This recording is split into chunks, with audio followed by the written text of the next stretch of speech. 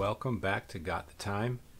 You know, every once in a while during my research for a new watch or a new subject to cover on the channel, I come across something pretty unique. Uh, this time I wanted to do a quick video on the Aventi A1301 Ghost and A1302 Tyamine Edition. Uh, yeah, these are pretty interesting pieces here. The Crystal Skull obviously is the star of this show, uh, the standout of this uh, watch style and there's good reason for that. So the sapphire skull is considered the most complex single piece of sapphire in watchmaking. Um, in fact, master gem cutters said it wasn't possible.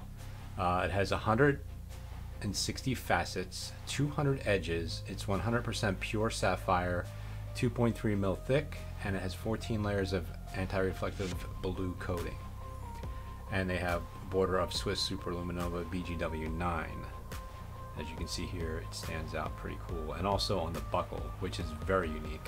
Never saw that before. Alright, let's take a quick look at the movement. I will play a short video clip from Aventi's website. Introducing the GT01S Open Work Tourbillon, Aventi's first 100% Swiss movement. What you see is not one engine, but 63 individual parts working perfectly in unison to produce a masterpiece. Alright, so continuing to take a look on Aventi's website, using the skull from a symbol of death to a symbol of rebirth. Again, the most complex single piece of sapphire carving and watchmaking. More edges and facets than a brilliant cut diamond.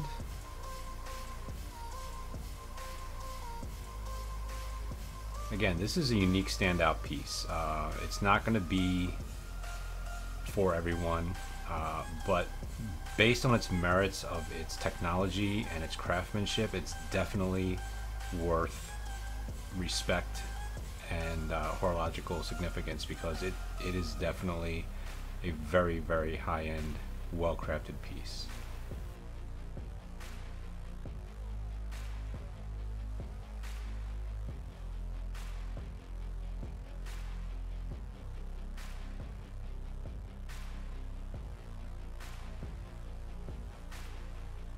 Alright, continuing to take a look at this movement, uh, GT-01S.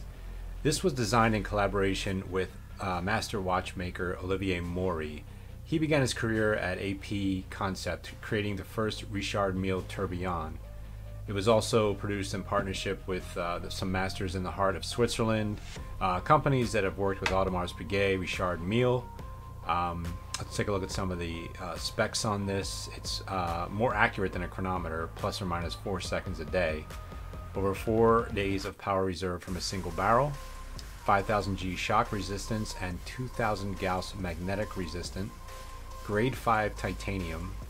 All edges are beveled and polished and covered in perlage. And it's also protected by a medical grade carbon coating.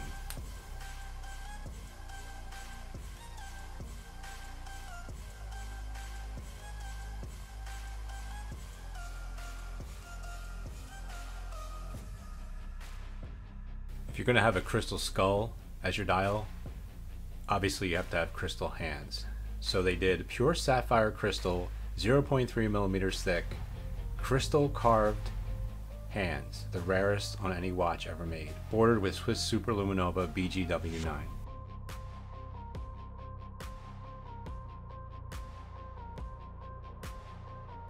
If you visit Aventi's website, there is a section where you can go on and click to register your interest for these pieces. As of the recording of this in June 2022, they are not released yet. Let's take a little look at the Tyamine edition. Uh, Aventi's proprietary coating, Tyamine. It's an amorphous carbon formulation uh, developed for maximum durability according to Aventi's website. Uh, the case is 44 millimeters by 49 millimeters. It has 124 edges and 92 facets. Uh, it's made out of grade 5 titanium with the Tyamine coating on it. And according to Aventi, this makes it as hard as a diamond. Three things I've learned about Aventi in my research for this video. Aventi pieces are hard to get. Uh, there's a very high demand and Aventi refuses to increase production just to meet that demand and sacrifice quality. So due to this high demand, they're individually allocated through a concierge service based on strict criteria determined by Aventi. Uh, obviously, as you've seen in this video, they are extremely high quality pieces. A lot of craftsmanship goes into these watches. They are not mass produced high uh, output pieces. Uh, obviously, watches should not be considered an investment, uh, but if it goes up in value, you're not going to complain, right?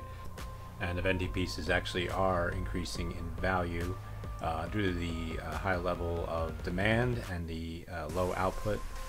They are increasing. So thanks again. Take a look at these unique pieces, something different, something out of the box. Appreciate the support on the channel. Take care, and we'll catch you on the next one.